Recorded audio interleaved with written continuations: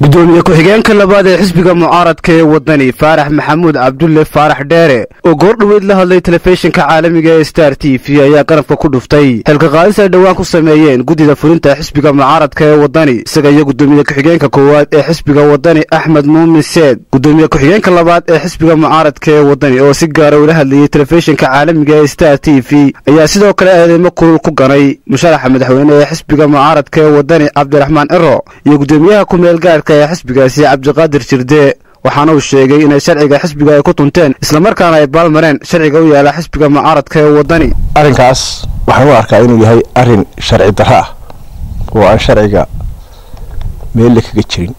Hadduu yahay dastuurka hadduu yahay xeerka asxaabta u dhigan ee jamhuuriyadda somalilan hadduu yahay xeerka xisbiga wadani saddexdaa sharciba marka loo eegoba waa sharciga meelle kagama jiro arrinkaasi waana arrin baadila. Waxaana weeye dee horta qofku wuu iska odhan karaa wax.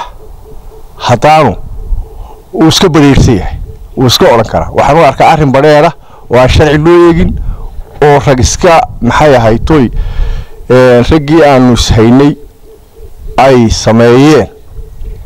Xisbigu waa ogeydeen laba garab buu noqday markii shirkii golaha dhexe ee la yidhi musharaxiinta lagu dooranaya madaxweyneha iyo madaxweyne ku-xigeenka.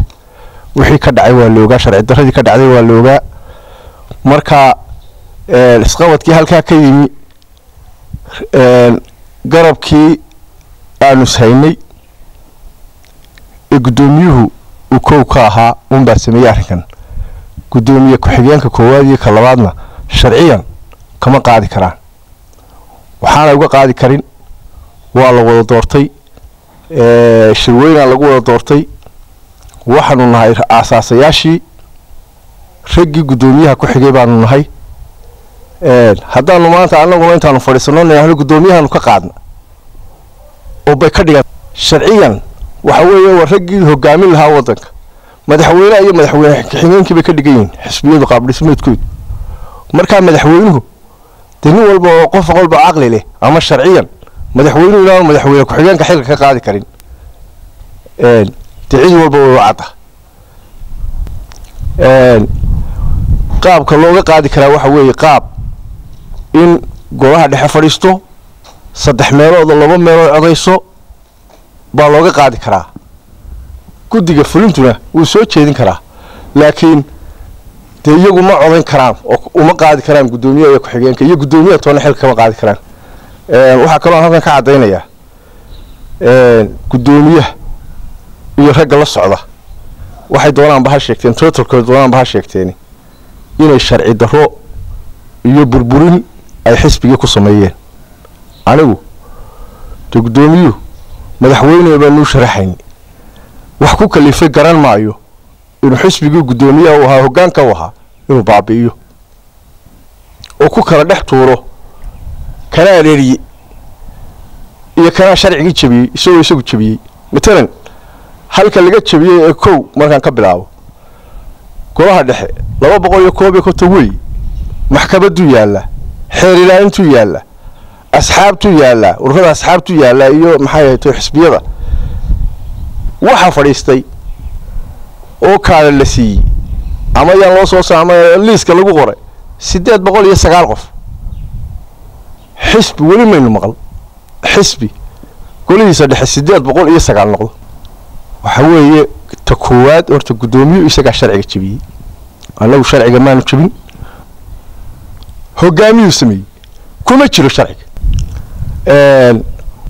Oo weliba raggii aanu islayn maxay sharciga ugu xariseeyey oo baarlamaanka soo ahaa oo guddoomiye soo ahaa oo maanta ah oo kii sameeyee inuu maxay hato waraabowtaag u qaato.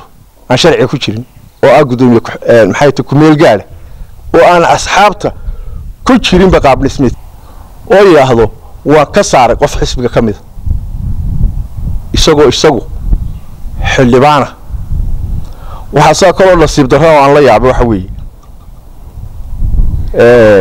Maanta raggii sharciga loo daba fadhiisan lahaa weeye ma aha ninkii sharciga ku tuman lahaa isagu geesta kale gudoomiye ku-xigeenka labaad ee xisbiga mucaaradka ee wadani waxa uu si adag uga hadlay abaaraha baan ee ka jira gobollada bariga somalilan isagoo baaqna u diray xukuumadda somalilan iyo hay'adaha caalamiga sidoo kale waxa uu fariin adag u diray xisbiyada qaranka somalilan dadkii waxa weeye way way soo xoroonayaan. Xoolihii way ka dhammaanayaan. Marka waxaan aada iyo aada u soo jeedinayaa intaanay ku soo xoroon tuulooyinka iyo magaalooyinka xooggooda ku soo xoroon in halkooda wax loogu geeyo waxaan leenahay deg deg guddida abaaraha iyo xukuumaddaba iyo dhammaanba jamhuuriyadda somalilan iyo hay'adaha caalamiga iyo kuwa gudaha. Waxa weeye golayaashu maanta annagu golayaashu way fadhiyaan. Waxaan leenahay wixii laga hadlaana abaaraha ha noqdeen. Waayo dalkeenni wuxuu ku jiraa xaalad deg dega buu ku jira dadku maanta wuu jilicsan yahay abaar baa haysa ha laga daayo kambeynka ha laga daayo xafladaha ha laga daayo stuska salebaan cilmi siciid salebaan kiiko wararka fogaan aragga xorta star t v caynaba